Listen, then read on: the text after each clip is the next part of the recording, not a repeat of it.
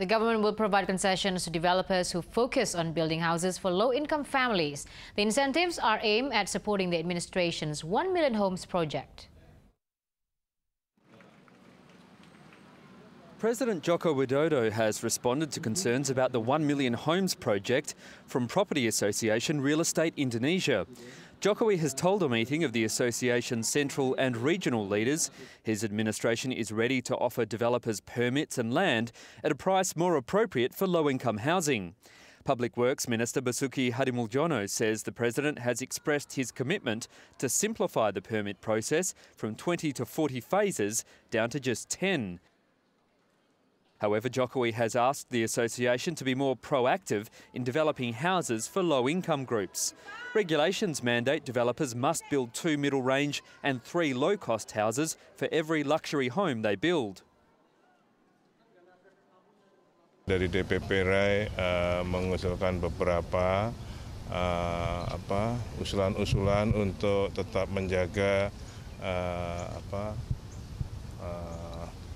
pertumbuhan uh, perumahan ini di, di Indonesia sesuai dengan program satu juta rumah.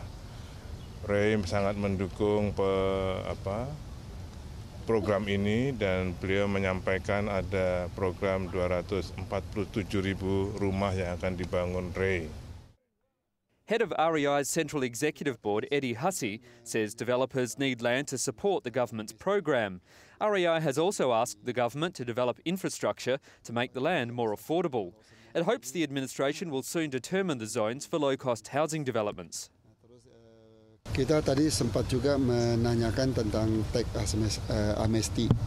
Jadi dari Bapak Presiden menyampaikan yaitu eh, sudah masuk dalam pembahasan mungkin dalam waktu dekat itu bisa di di di, di, di apa direalisasi kalau semuanya ini uh, punya komitmen yang yang jelas.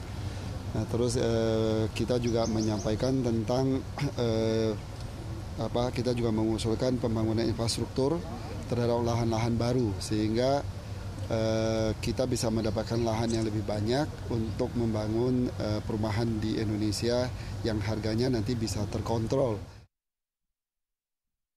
The Investment Coordinating Board says $436.8 million was invested in the property sector in the first quarter of the year, a twofold increase on the same period last year.